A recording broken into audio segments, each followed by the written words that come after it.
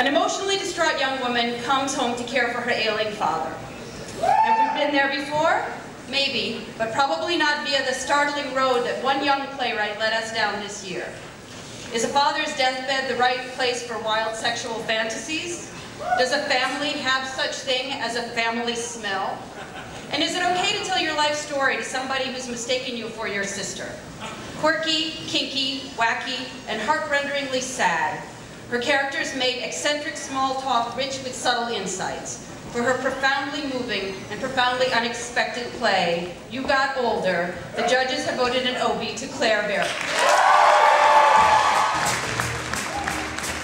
Oh, I have to pee. Um, I want to thank first Annie Kauffman, who taught me so much about making theater, but more than that, she treated me as a peer uh, when I had no business being as such, and that taught me even more. So thank you, Annie. I love you so much. The incredible cast for Blue, Miriam Silverman, who's here, Reed Birney, the whole cast, the designers. I'm in love with designers. That's the best part of being a playwright is getting to hang out with designers. It's amazing. The crew.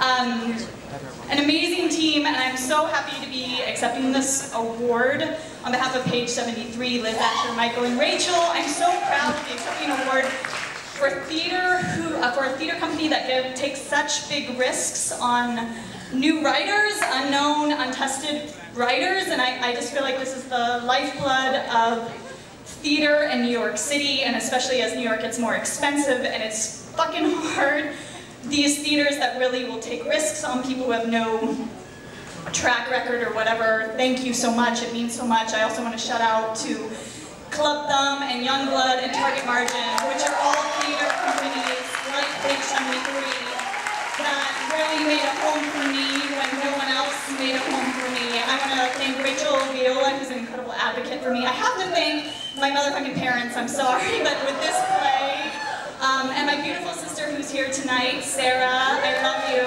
Um, my dad always says, and sort of the impetus for writing this play is seek the cheerful, which I never, ever, ever, ever do.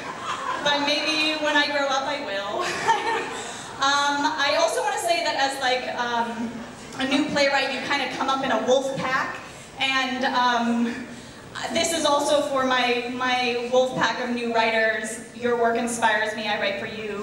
Thank you so much, I hope I didn't fuck up.